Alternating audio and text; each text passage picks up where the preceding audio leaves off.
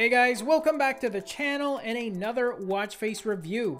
Now for today's show, I have two designs to share with you guys which are completely free and from a new developer to the show called Lorna Design. And although these are in fact free downloads, I always recommend that you grab freebies when you can because there's no guarantee that these are going to remain free in the future. In fact, developers can and actually have changed prices without notice in the past. So if you really like these, then make sure you add them to your accounts right after our review.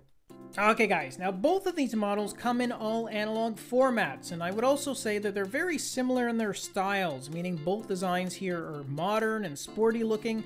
The main differences lie in the display data as well as their color scheme.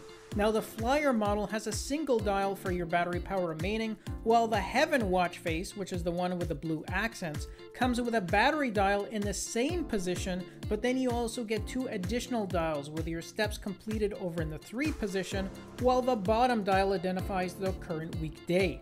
And although you can't change the themes on either one of these models, I still think they both come with some great accents. The Flyer model's got a nicely textured background along with some really bright white hands that just pop off the screen and that makes it easier to see and to read that time, while the Heaven watch face has got those bright blue accents for the 12 digits as well as the tips of the analog hands and that just enhances the sporty appearance even further.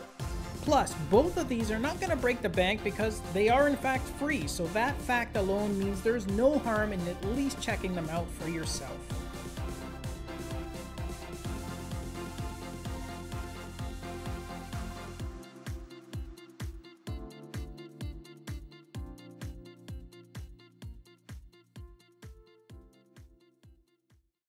Alright guys, that's just a quick summary of the features you get on these two sporty analog designs, and while they are free, I would still grab them as soon as you can just in case the price changes in the future. And as a reminder, I always leave the direct links to all the watch faces I review down below in our video description, so make sure you click on them.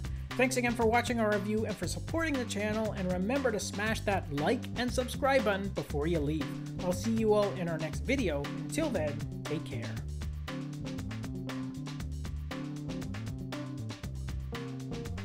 Thanks again for watching our review, and if you liked it, then show us some love with a thumbs up, subscribe to the channel, and share the video with your friends because with your support, it really helps me keep the channel going so I can continue to offer you guys discounts, giveaways, and of course, fresh content. I'll see you in the next episode. Until then, take care.